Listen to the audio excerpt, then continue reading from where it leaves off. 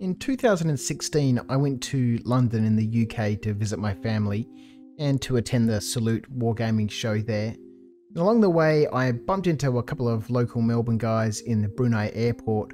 They're from Mana Press, and I'll leave a link to their Facebook and website in the description below. We spent a lot of time together, and they ended up buying me a gift. G'day everyone, Viv here. I hope you're all keeping well. Welcome back. This is not the scheduled video that I was planning to put out last week and then again this week, but it just made sense.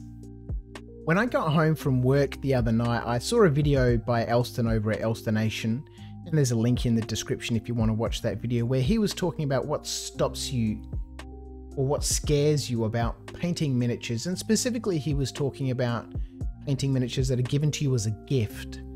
Now, this figure has been sitting around since 2016.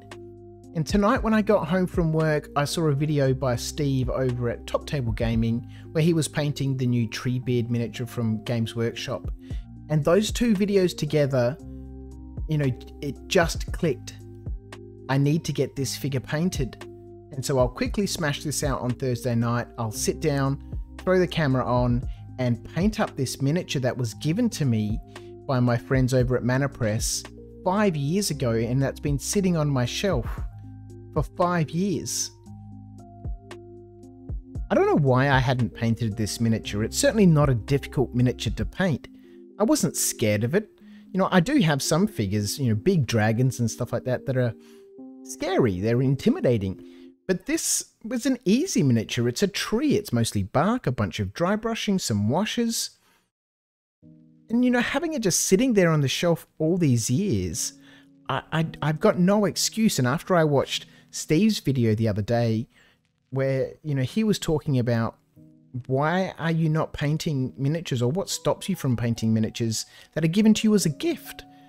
There was some really interesting commentary in that video, so I didn't mind having to duck out during the middle of the night to go and get a base so I could finish this miniature.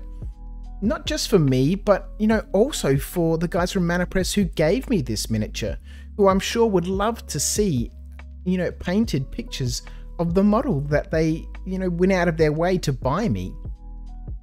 It really feels good having this miniature painted now. You know, I still do feel bad that it's taken me so long to get this done but it's nice to have finished.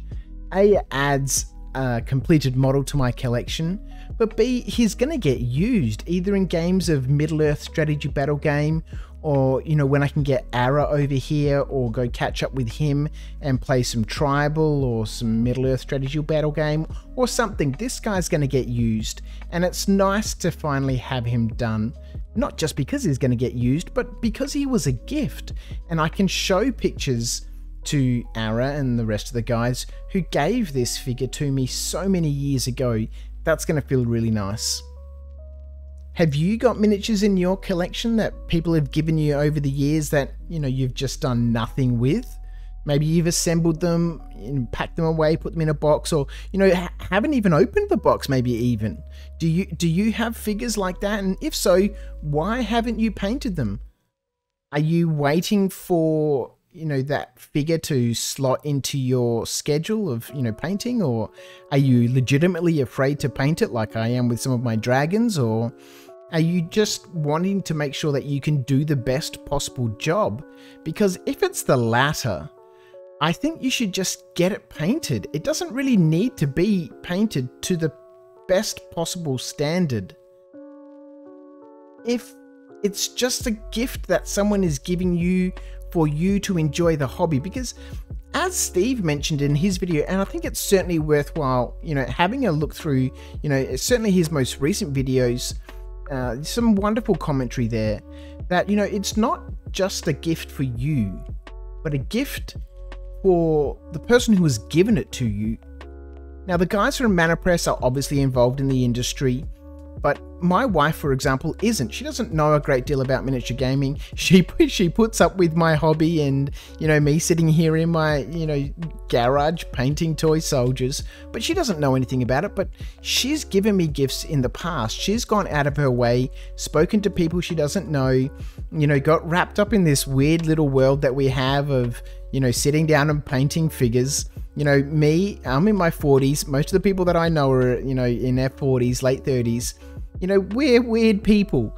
And I think that, you know, it to do it justice, you know, you just need to paint it. It doesn't need to be perfect.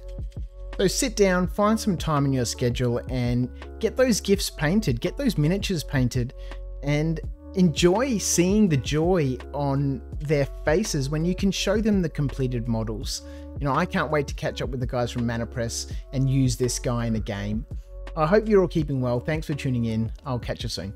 See ya.